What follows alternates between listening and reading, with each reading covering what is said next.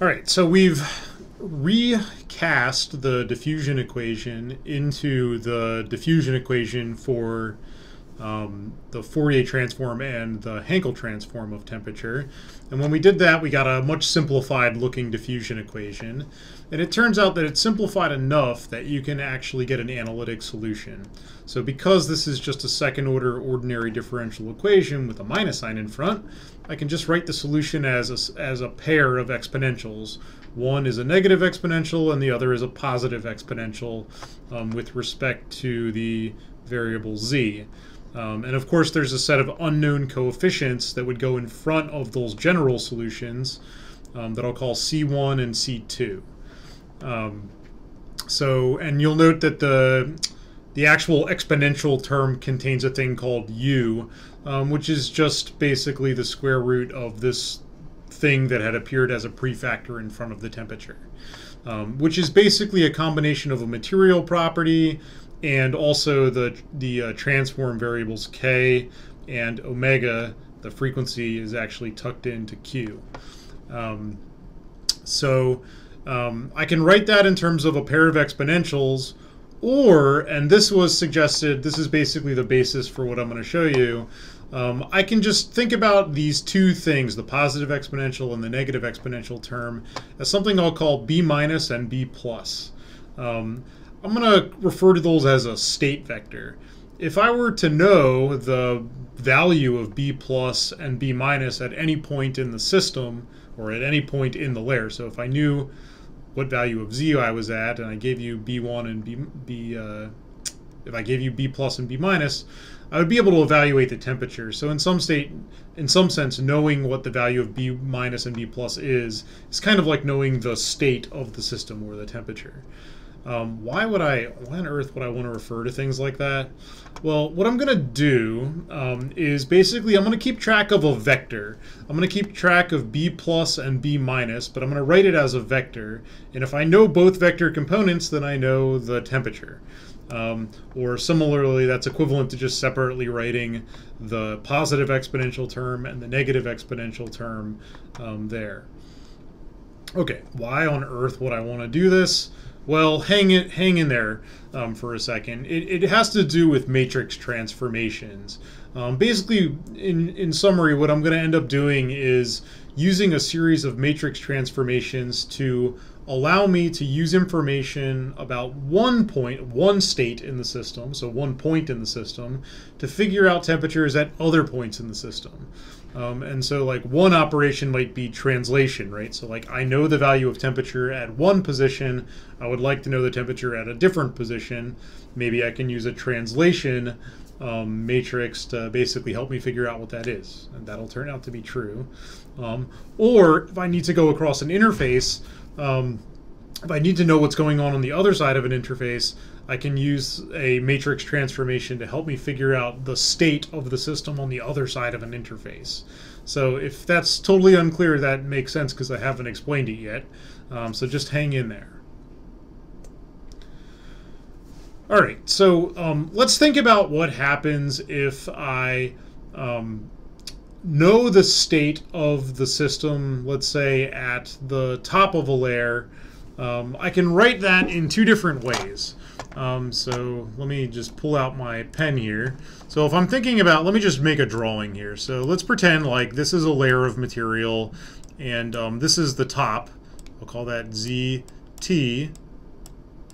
And this is the bottom, Z bottom, ZB. And they're separated by a distance h. And at least according to Feldman's paper, what we should do is I'm going to the top the topmost layer corresponds to z0 so this is actually the increasing direction of z. Okay so I can either describe the state of the system. So this is my b plus and b minus.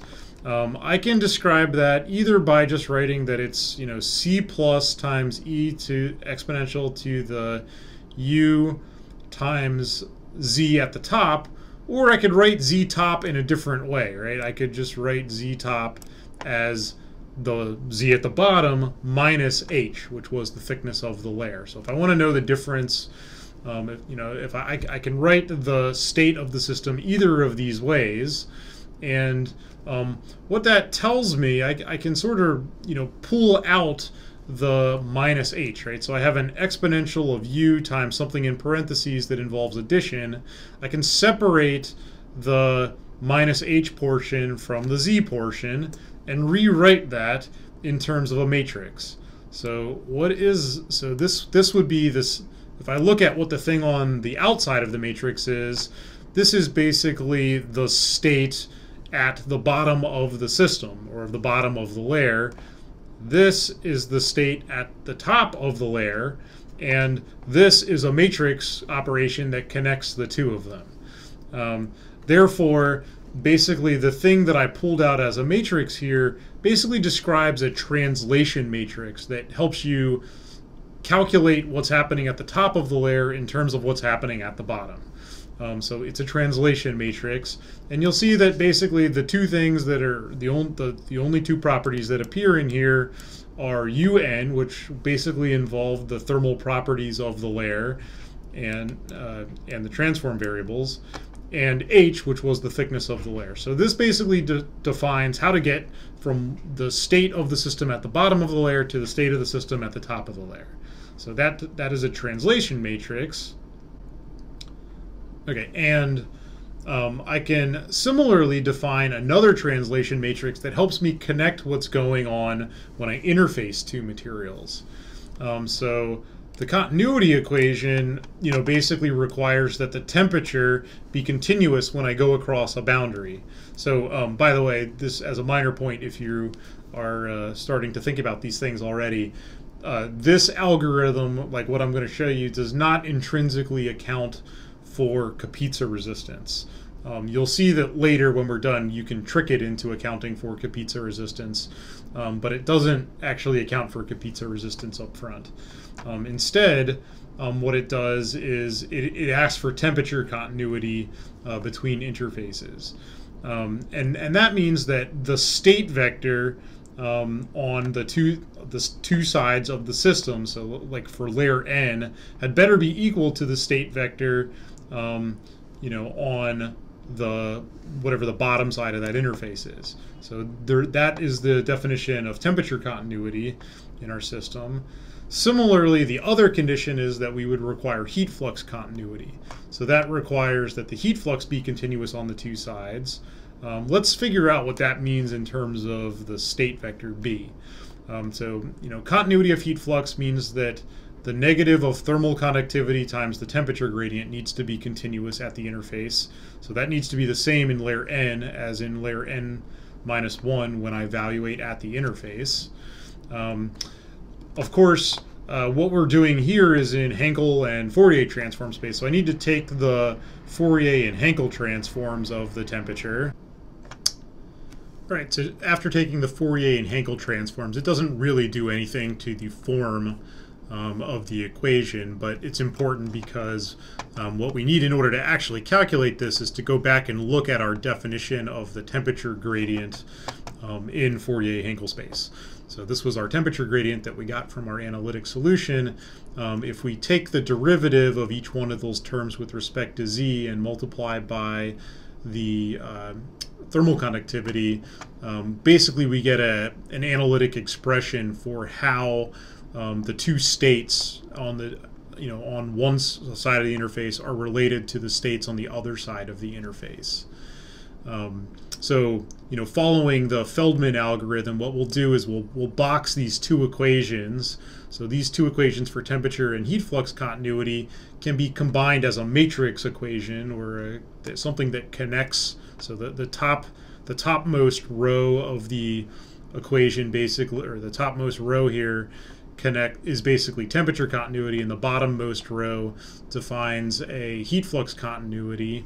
Um, I'll just note down at the bottom I've written this, but um, in order to write it in this simple way, um, using a matrix, a set of matrix equations, you have to define this thing gamma, um, which is the thermal conductivity times U. And remember that U is essentially something that depends on material properties in here. Um, so if I do that, well, it, it actually makes more sense to basically move one of the operations to the other side of the equation. So if I take the inverse of this and multiply it times the other side, um, basically what I'll find is that I can define a transformation matrix that is appropriate for an interface. So well, this matrix transformation relates what's going on the next, you know, in the next layer down to what's going on in the next layer up, right? So this is B plus and B minus on a lower layer compared to one that is higher up or closer to the top. And with some transformation matrix in between that basically depends on the material properties themselves. That makes sense. Um, if you, if you dig far enough into these, you'll see that gamma basically represents like the ratio of effusivities of the two layers, but whatever. Um, you know, from the point of view of the algorithm, this is just some transformation matrix that helps you get from the state of one layer to the next layer. All right, so I need to wrap this up somehow because I now have a set of you know, matrix transformations that can take me from one type of material to another across an interface or up through a layer using translation matrices. But in order to do that, I need to have some starting point for doing this translation procedure. Um, and so it turns out that there's something fortunate that happens in the bottommost layer of a material, which is that, um, you know, in most of these TDTR experiments or even FDTR experiments, the frequencies of modulation are so high that heat doesn't actually penetrate all the way to the bottom of a substrate typically. And that means that um, we actually know something about the behavior of the state of the final layer. Um, so in the final layer, or the bottommost layer, layer N, capital N, the way that I've been um, writing it, um, we know that the temperature should not blow up to infinity. Um, but you know, if we look at the um, solution, the analytic solution we had for the temperature profile, one of these terms looks like it blows up to infinity um, if z goes to infinity. Um, so if z gets large. So obviously we don't want that to happen. So for a semi-infinite material, what we would expect is that B plus um, needs to be zero um, for that for that material or at, at least at that position. So for the final layer, um, we expect that B plus is 0 and B minus, um, or actually it's C2 that is, uh, C2 has to be 0 in the final layer, which means B plus is 0 everywhere in the final layer. Um, and B minus, well, I don't actually know what the state of B minus is, but um, but you'll see that it actually doesn't matter. I can just assume that it's some number. Um, so I'll just, for the moment, set it equal to 1 at the top of the layer. So whenever z is 0, I'm going to set this thing equal to 1. Um, you'll, you'll see why it works. Um, okay, so in the final layer, b plus is 0, and I'll just set b minus to 1 at the top of the layer. Okay, why does that work? Well, think about my goal. Um, my goal is actually to calculate um, g, which is the point response function, which involves the um, which involves essentially the temperature at the top of the first layer and the heat flux at the top of the first layer, um, you know, in Hankel and Fourier transform space. Um, I actually now have analytic expressions for what this is, right? So, um, you know, in any layer it would be so the temperature by definition is B plus plus B minus um, at that position. So I'll call that B1 um, plus plus B1 minus. That is the temperature at the top of the layer, um, the top of the first layer.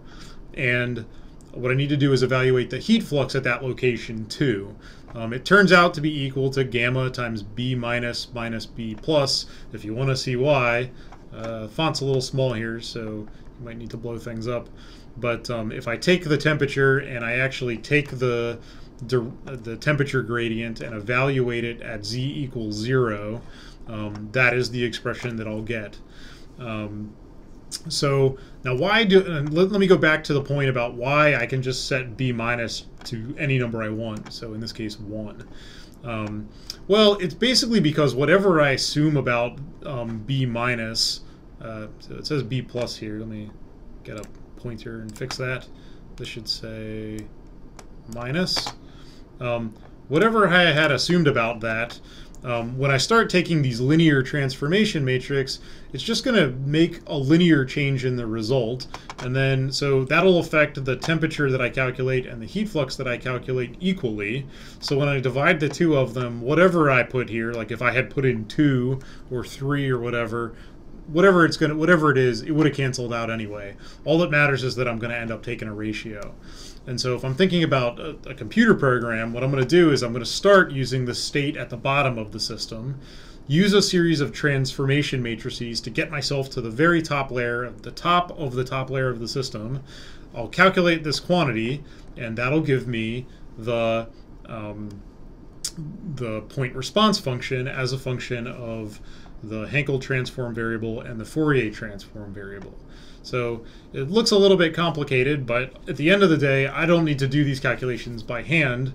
Um, we're going to do them using a computer. So, um, you know, keeping track of all these transformations turns out to be not so hard.